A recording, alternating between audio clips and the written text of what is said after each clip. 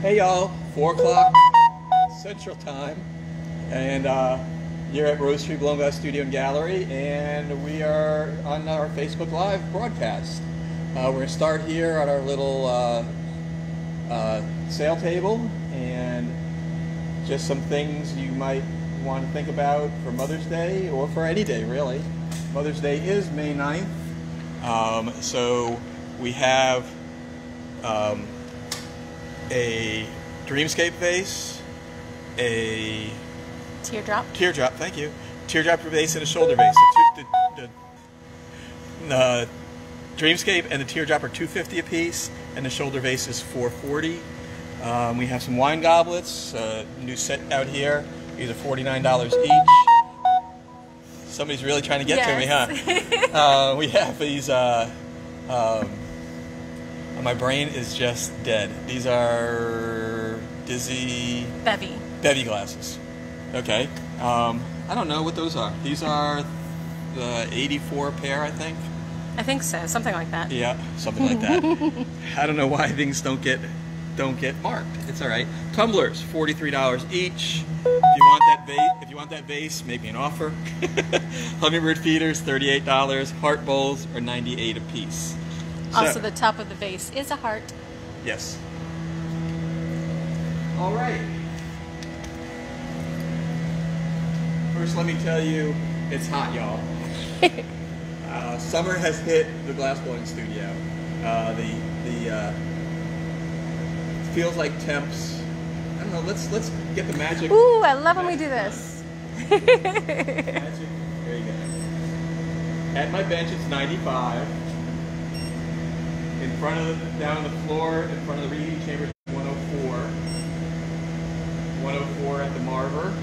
So it's a hundred-ish or so down here, just so you kind of know what we're what we're going through. Anyway, hey y'all, I'm Mark. I'm the owner here at Rosetree along with my wife Brenda, and we come to you from beautiful downtown historic Algiers Point, New Orleans, Louisiana.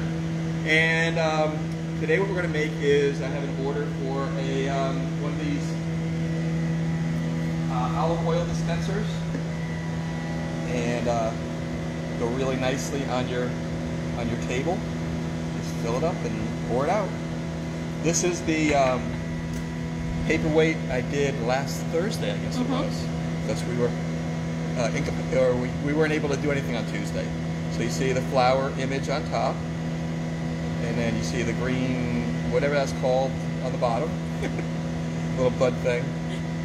And just so you know what that looks like in real life. Anyway, um, today we're in New Orleans. We're doing what we're calling Festing in Place. Uh, Jazz Fest was supposed to be last weekend, this weekend. So that's the T-shirt for today. Usually it's a Rosetree T-shirt. Special occasion, we have a uh, Jazz Fest T-shirt. This T-shirt was from when the first year after Katrina, and the the um, thrust of it is the healing power of music. And I think uh, we can probably use that again. So there you have it. Um, and if all, and y'all uh, gone to Jazz Fest or think about going to Jazz Fest, you tune into WWOZ, which is 90.7 um, down here. I guess you do it online, wherever you all are. And they're doing uh, from 11 to 7 uh, through Sunday. They're doing uh, concerts, clips from Jazz Fest past, and it kind of gives you an idea of what's happening. It's really, it's really cool. Okay, so today's piece will be two layers. Uh, first layer will be green powder. Second layer will be double blue and white chips. Uh, we'll stuff in the optic mold. We'll swing a little bit. Yeah. And um, get it done. All right. Uh, hydrate is very important today. I've gone through two of these already. I'm on my third. So we got we got a little bit of a roll call to take to, today. Okay. So uh, we got lots of hellos. We got Doc Rich, Barry, Jennifer Fowler, Shatney's here, Tracy's here. Um, we've got Annette Hoban Frawley said, "Love your place. I bought two oil burning lamps there." Great. Thank you. And then Barry decided to show off and say that it was 69 degrees there, Oh, and that I, I should probably need my ice pack already. that's not beach weather down there. Doc said he's festin in place with Rosetree. wonderful. wonderful. Barry said that the um, uh, um, paperweight came out beautiful and it's a pistil and stamen. Pistil and stain is on the inside, not the thing on the bottom. I looked it up today online. I looked up parts of a flower, and it is it's, it, it's something, and I've never heard the term before, but it, and it went out of my brain. so anyway, um, and let me tell you, if you're new here, uh, please just um, watch. You can't participate. Just put in the comment section. Um, you know, give us a hello, and that you're new, and um, follow along. And uh, you know, it's just like coming in here and just chit chatting with us and hi. and, and coming up to the gate and saying hello. And uh, so that's really what we what we do. And uh, I forgot to introduce Darcy as the voice behind the camera. So if you have any questions that you need answered put them in your comment section.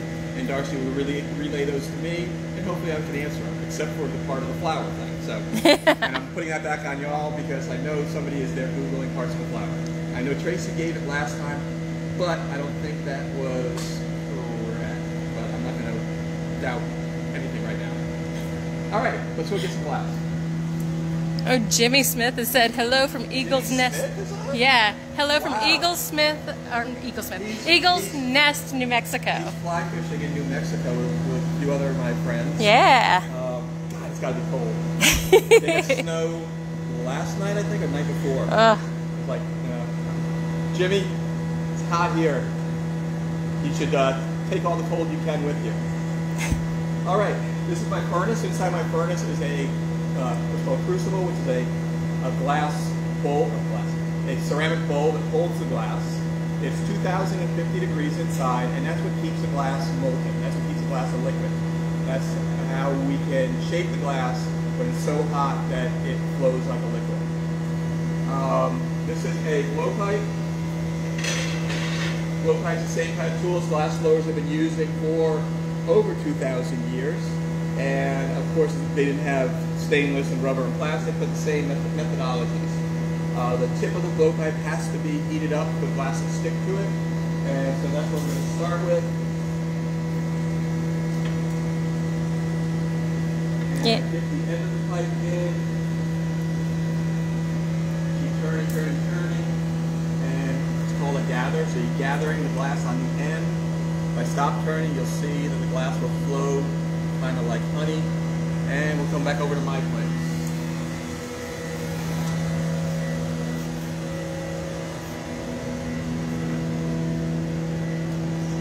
Shatney said the pumpkins are gorgeous and can't wait to present them as gifts. And Jimmy said they got snow yesterday. No, no, you can't have me. I, I wouldn't be standing in a river with snow around. I, I have to draw the line somewhere. I would love to go just for the scenery, but not to stand in a stand in a, in a almost frozen river. Love you, Jimmy, but no, don't think so. okay, so this is going to be we're going to put two layers of the green on, and in between each layer, I'm putting in the reheating chamber. The reheating about 2100 degrees, and it's only hot.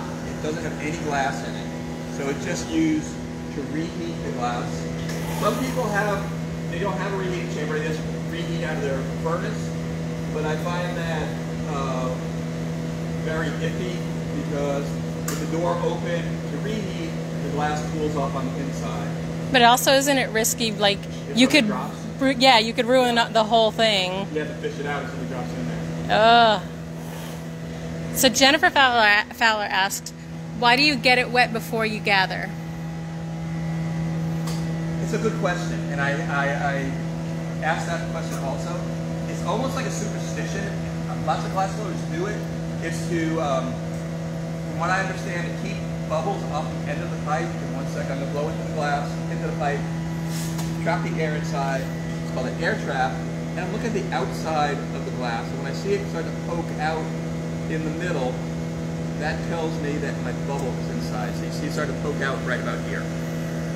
So the bubble's in there, and we're going to work off of that bubble, build on that bubble uh, for the rest of the piece. So anyway, from what I understand, when you dip the glass in the water, something to do with temperatures or I don't know, but I tend not to get bubbles on the end of the pipe, which are hard to blow through and it makes things funky. So that's why I do it, because it works. All right. Aaron made it, said, hey, sorry I'm late. Welcome, Aaron. Shatney was asking, what's the most difficult piece you've made? Um, the most difficult piece is probably a piece I did a collaboration with uh, Greg Chase, who was a very fine um, Millefiori maker. Um, and this little pictures in the glass, and he would make marbles and things like that. Um, and we did a piece, actually, yeah, it's up in the gallery. Um, if you remind me, uh, we'll put up a, a, picture of it. Is that it's the... just a piece of a, it's a uh, Louisiana, there's a New Orleans scene down in a, in, like a big coin on the bottom, and then ghosts and skulls and musical notes and all spiraling up into the piece. So that's probably the most complex piece that I've made. All right, so the glass is cooled off enough to get my next layer, so I'm gonna go get another layer on top. Jimmy said he's listening to WWOZ and watching Rosetree, and it's about as good as it gets. There you go.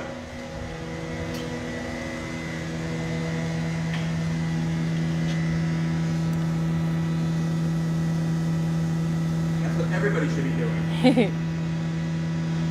and I think Barry's right, so I'm going to step over and get my first ice pack.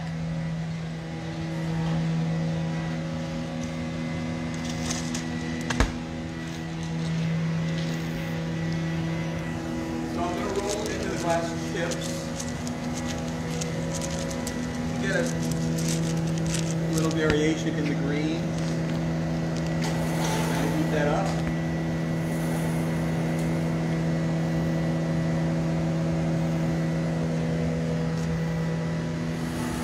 Heat goes in a little bit and get one more layer on. Just give it a little more, um, a little more depth.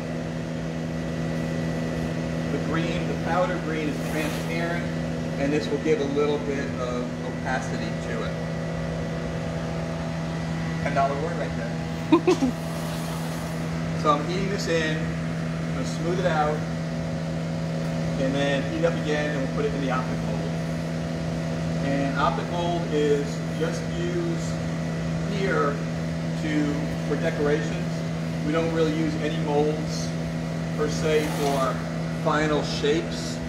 Um, there's some places, some factories and all, that use molds for shaping. But I find the, uh, the beauty in the handmade is that pieces vary. There's a human element in it. And by using molds each time, you lose that human element. So uh, Jennifer has an interesting question I hadn't heard before. Do you worry about the oils on your hands creating issues when you touch the crushed glass, though? Uh, no. Um, there, there, are certain things that you have to wipe down uh, for the oils on your hands, like uh, using canes or pickups and things like that that are larger. One second. Um, and when I swing to elongate it, because I pushed it together. Um, so those things we do, I do clean before uh, heating them up and picking them up. But things like the chips, you wouldn't notice it just because they're so small. I'm going to smooth that out a little bit more.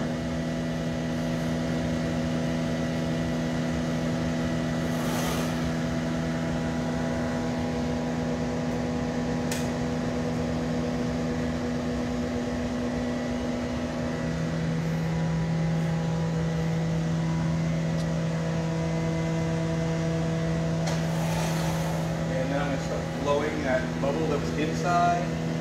It compressed a bit when I put it in the optic molds and I have to blow it out and start working on the shape. I'm to do the air trap again, see where the bubble is.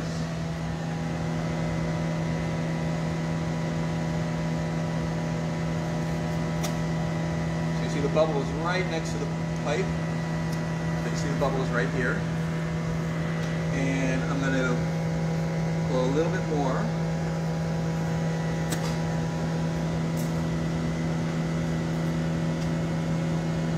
And then I'm going to, I'm going to work the net now. I'm going to shake the net. Because this piece isn't transferred, so I can't work on the neck later. I got to work on the neck now and take measurements on it because it has to be a very specific measurement for the uh, top to fit on. There are some people who make these dispensers and soap dishes that um, just use corks, and I don't really like the cork look. So ours is a, a screw-on tread that uh, we glue on and just gives it, I think, a nicer, nicer look. Ooh, got a little close on that one. That was kind of cool. So I don't hear you say ouch, we're good. so I'm gonna heat that up again and stretch out the neck a little bit more because I know it's a little too fat right now.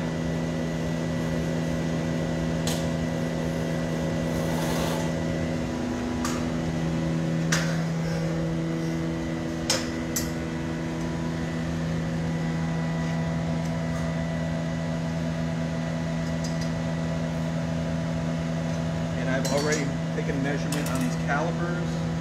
I have a little bit more to go. So these calipers can give me an inside measurement, which is there, and an outside measurement, which is there. So, I'm gonna heat up one more time. It's stretching out a little bit.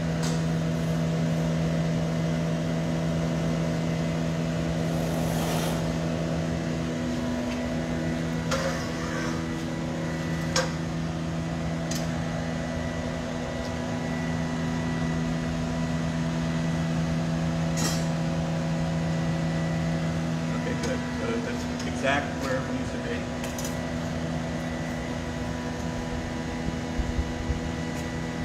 And now I'm going to heat it up and sweet out a little more. And start elongating it because I want the length like that one is.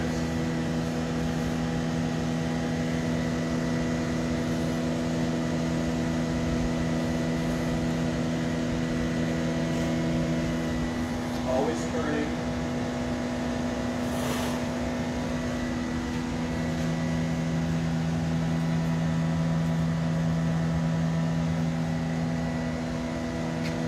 Just giving a light pressure here.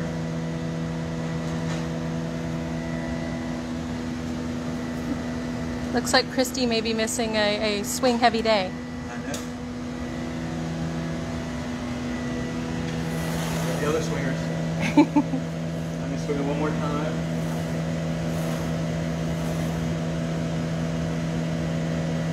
And then check for a measurement.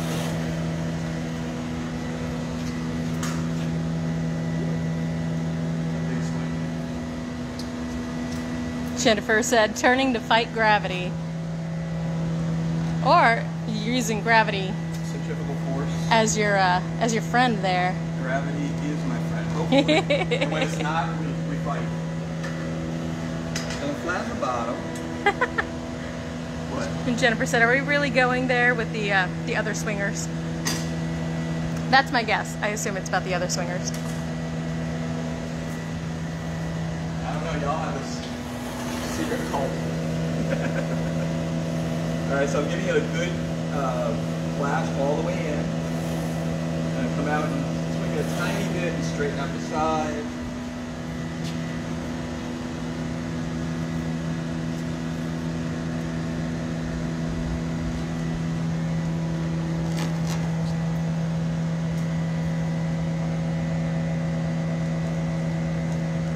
Yep, it was about the swingers. Gravity. So I'm putting a kick in the bottom, which is just that indentation so that it sits level on the table. Straighten that out one more time.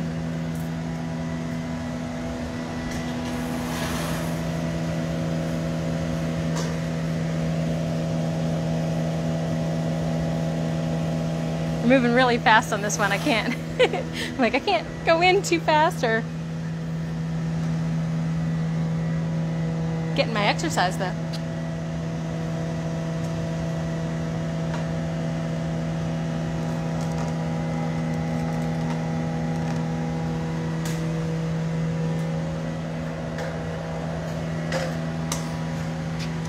All right, make sure bottom is flat.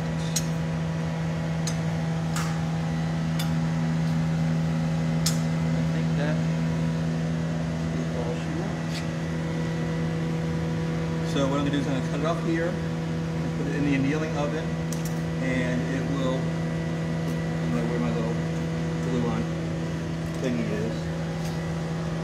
This is the top that gets glued on to here, and then the The threads are out the for threads are out and, and the top. can just be screwed on. Interchange the tops on it. Alright. So Jennifer was asking, does the ambient temperature of the studio affect the way you work the glass? That's the way I work for sure. um, does the glass cool off quicker in the wintertime kind of thing? Is that that's what you're asking? Yeah. Not really. If there's a wind blowing on it, that's probably more of a, a uh, hindrance.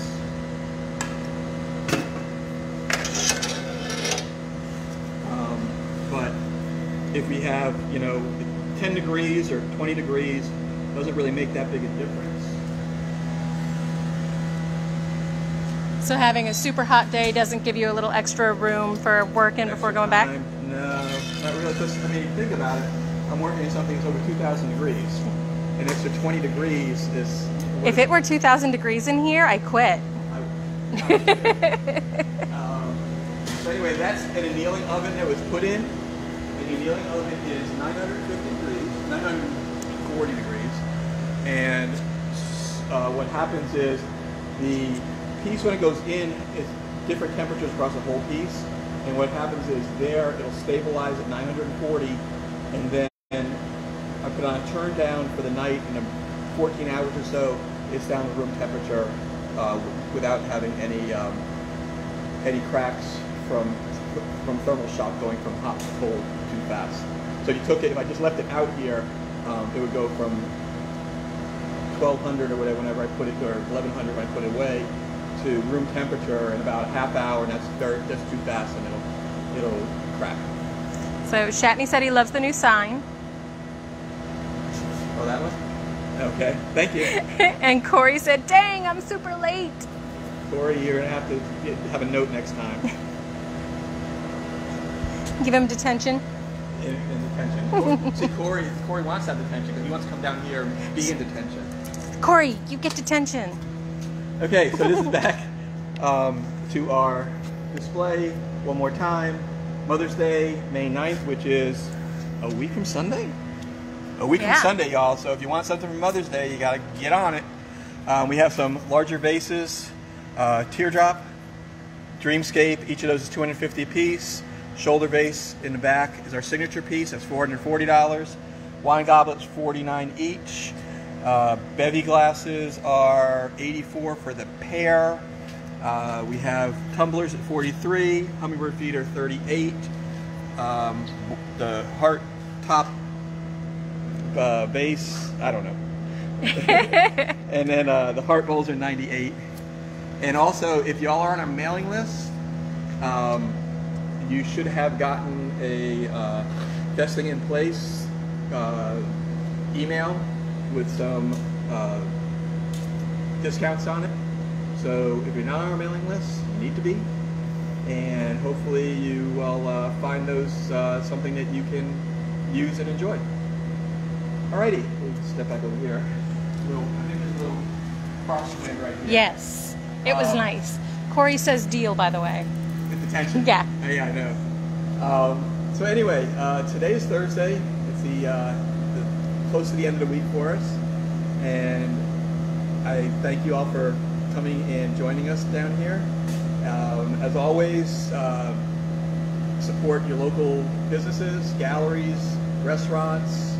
Uh, if y'all are, if music is starting in your area, go out and support your music, musicians. Small business owners and gig workers are the ones that really could use your help. Uh, Amazon and people like that, they're gonna they're gonna survive. So uh, help out those who need your help. Uh, if you need glass from us, uh, you go to www.rosetreegallery.com on the web, Facebook, Rosetree Blown Glass, but you know that because you're here. Uh, Instagram, Rosetree Glass Gallery, YouTube. All of these are on YouTube. So if you miss a day or want to look and have nothing better to do with your life, uh, if you want to look up some glass, our YouTube channel is Rosetree Blown Glass Studio and Gallery. All right. Um, have a great weekend, y'all. It's supposed to rain here, which is okay. Might cool things off. Um, as always, be kind to one another, love one another. Thank you for coming. We'll see y'all next Tuesday. Take care.